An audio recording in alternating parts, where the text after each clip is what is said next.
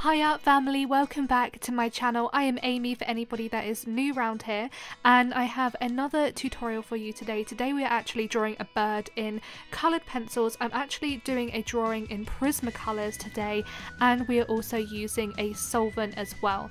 I do have all of the materials listed below as well as the link to my Patreon because this is part of a full real-time narrated tutorial on Patreon. So if you'd like to check that out, the link is down below to my Patreon and the tutorial is on there for $5 patrons or more. I also have lots of other real-time tutorials over on my Patreon, so again if you'd like to check that out just go and click the link down below and that will take you straight there. But anyway without further ado let's just get straight on with this tutorial. I'm just going to talk about some of the materials that I'm using. So as I said I am using Prismacolor pencils for this, that's the Prismacolor Premier pencils and I'm also using the Zest-it pencil blend as well so that's a pencil solvent and the first thing that I I am doing is I am just actually starting with my main outlines. Now my techniques are slightly different for this because I'm using a solvent. Normally my normal techniques and methods would be the layering and burnishing technique but for this, this is very different because obviously the solvent is going to do most of the work. So for the initial steps, what I actually like to do is I like to get in sort of more blocks of colour and shadows of colour. Then I'll blend all of that out and then I'll go in with the finer details at the end. The first thing that I'm doing is I'm using the black pencil. This is actually the black polychromos pencil. I ran out of black Prismacolors, I get through them a lot and what I did was I actually started to just block in the main shadows and outlines of the bird using this pencil but as more shading techniques and methods. So I don't really apply a lot of pressure with the pencils because obviously if I do that then the solvent won't be able to work its magic and we need to be able to allow the solvent to actually absorb into the paper. I also started to include some other colours in the bird. So this bird was very, very blue. It was a blue bird. and what I did was I actually started to shade in some blue tones. So I shaded in some nice light blue tones and then some darker blue tones as well and I also shaded in some colours into the beak as well and I am also shading in some colours into the branch as well because I decided to actually include a background to this and I also decided to include the branch as well.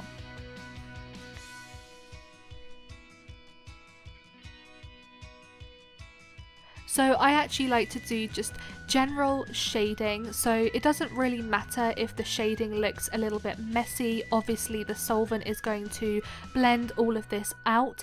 So at this stage I'm just more worried about getting in the shadows the values the different colors and hues into the bird. And then when I go in with the solvent I blend all of that out wait for it to dry and then I will go back in with all of my pencils and create those finer details for the breast of the bird, I guess, or the or the chest of the bird might sound a little bit better. Um, I actually shade in a lot of lighter tones, so I had some lighter grey tones and some lighter blue tones as well. Obviously, because that area was actually quite nice and white. Although, as I normally say in my tutorials, just because you're drawing an animal with white fur, it doesn't mean that you can just leave the white fur white. There are lots of different tones and values in that white fur as well. So that's why I included a lot of greys and a lot of blue tones as well. I also worked a little bit on the branch but again we're using a solvent so I wasn't adding in a lot of detail. Normally I'd be going in with my embossing tool, I'd be going in with a lot of detail but today I'm literally just shading in different colours and I shaded in mainly brown tones, also some greens as well for that sort of natural foliage feel to the branch but because I'm going in with the solvent I'm not going in with a heavy hand or heavy detailing at this stage, I'm just mainly shading in.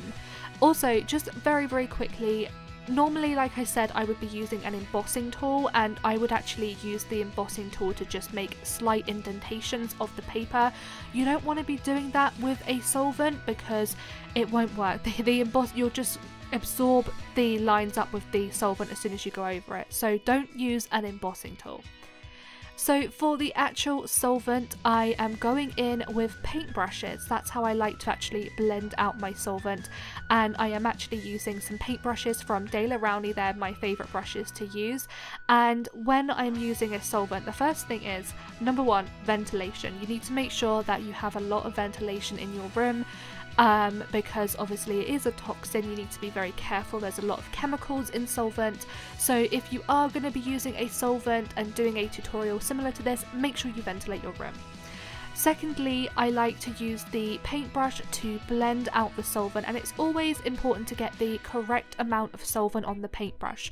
You don't want to have the paintbrush dripping wet because what can happen is that you can get smears on the paper but also you're more likely to break the or damage the tooth of the paper, break the paper, rip the paper and you also don't want to have the paintbrush too dry because then the solvent won't work. You need to have the sort of correct amount.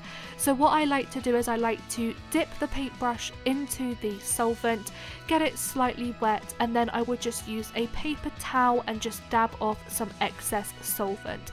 And I just find that that really does do the trick.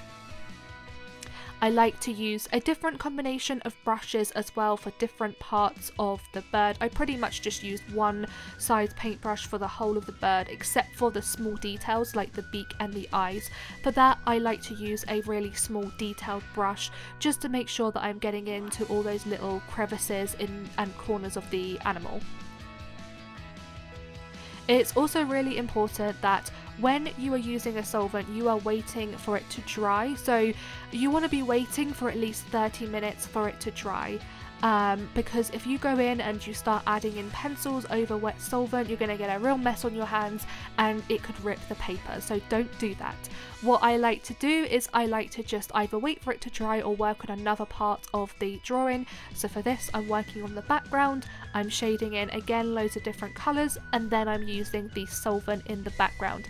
And I started by using a sort of medium sized brush by Daler Rowney and I also did use a bigger brush as well for the bigger areas. And again, as you can see, as you go over those areas, they become a lot more um, bolder, a lot more brighter, and a lot more vibrant as well. So that's another thing that you have to be careful of. You've got to be careful of what colours you use. You don't really want to have um, an area that is going to be really dark or intensified. So for example, if you're using black, be careful because black will become really, really intensified when you go in with a solvent. So next, we have waited for at least 30 minutes for the solvent to dry and I am going in now with my coloured pencils. So as I said, I'm using mainly Prismas apart from one which is the black Polychromos and this is my favourite step of any drawing. So after I've done the solvent, I love going in with the detailing stage and I just go back in with the pencils and I start to just add in more specific details. Also, you do get a sort of like chalky effect when you use a solvent, so the pencils just help to just obviously flatten out any sort of textures that are looking a little bit grainy. They also add a lot more detail in, so for example the branch, the branch now looks very very flat, very sort of two-dimensional, so I like to be able to go in with my coloured pencils and again just re-intensify, re uh, add in those shadows, add in the details again, and this, I love doing this sort of technique and this step. Also, I find it really easy to overlay coloured pencils over areas that I've used a solvent in.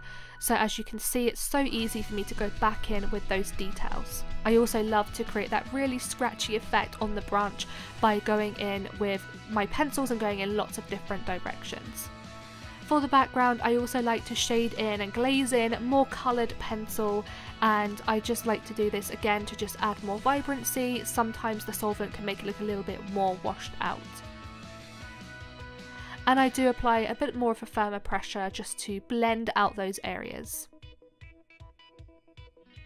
It's very very rare that I will actually draw backgrounds so this one was a new one for me and I really enjoyed doing this. I hope you did enjoy this video as well and as always if you are new around here please don't forget to subscribe to my channel it really does mean a lot to me. I will of course be back with a brand new video very very soon and of course thank you very very much for watching this video. Bye everyone!